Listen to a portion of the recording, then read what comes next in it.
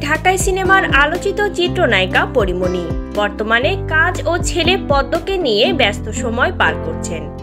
অভিনেত্রী সামাজিক যোগাযোগ মাধ্যমে বেশ সরব ফেসবুকে নানান সময়ে বিভিন্ন ঘটনা নিয়ে লিখতে দেখা যায় তাকে। ভোরে সামাজিক যোগাযোগ মাধ্যম ফেসবুকে একটি পোস্ট শেয়ার করেন পরি। পোস্টে লেখা, কখনো কখনো একজন মায়েরও তার মায়ের প্রয়োজন হয়। পোস্টটি শেয়ার করার সঙ্গে সঙ্গেই প্রায় সাত হাজার প্রতিক্রিয়া পড়েছে নেটিজেনদের। রীতিমতো মন্তব্যের ঝড় উঠেছে পরিমণির কমেন্ট বক্সে। ঢালিউড অভিনেতা রাজের সঙ্গে বিচ্ছেদের পর পদ্মর সব দায়িত্ব একাই পালন করছেন পরিমণি বর্তমানে পরির ছেলে পদ্মর বাবা ও মা তিনি। প্রসঙ্গত গত বছর ডোডোর গল্প সিনেমার শুটিং শেষ করেছেন পরিমণি সরকারি অনুদানের এই ছবিটি পরিচালনায় করেছেন রেজা ঘটক। এরপর যুক্ত হয়েছেন খেলা হবে নামের একটি সিনেমায়।